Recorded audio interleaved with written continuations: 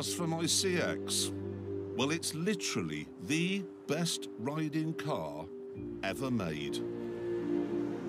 Okay, picture the scene. You're lying on a daybed on a tropical beach. It's warm, and all you can hear are the wavelets caressing the white sand. Shh. Shh. You had half a bottle of wine at lunchtime, and there's nothing to do all afternoon but snooze. That is what it's like to drive a Citroen CX. It is incredibly comfortable.